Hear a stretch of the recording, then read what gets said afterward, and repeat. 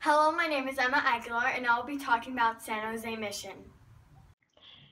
This is Father Fermín Francisco de Lasuén.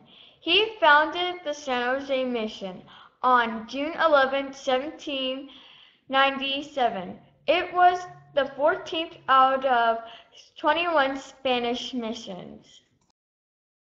The site chosen for the only mission on the east side of San Francisco Bay had been inhabited for countless generations by the Alewan Indians.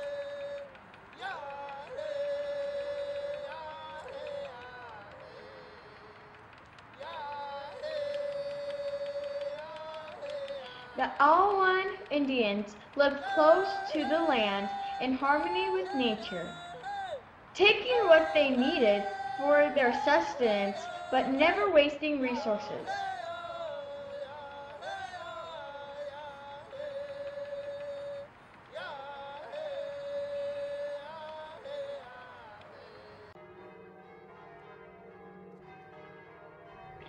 The goal of the missions was to colonize the territory of Alta California for Spain.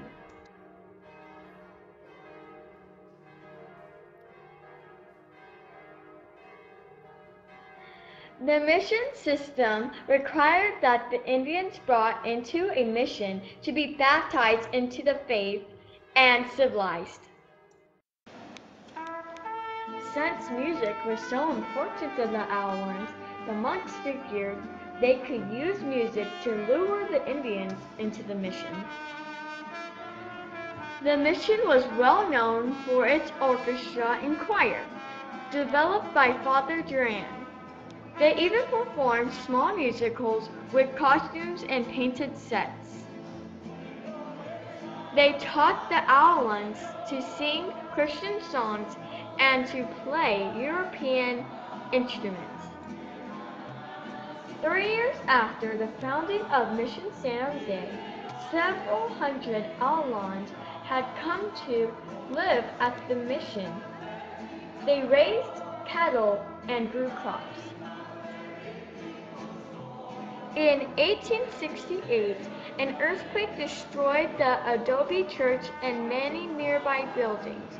The west wing, which housed the convento, was left standing, and today is the Mission San Jose Museum, which I visited.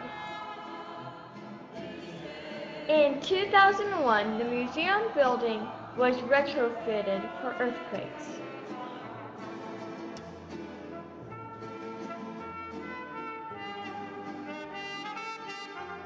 The church still holds masses every day.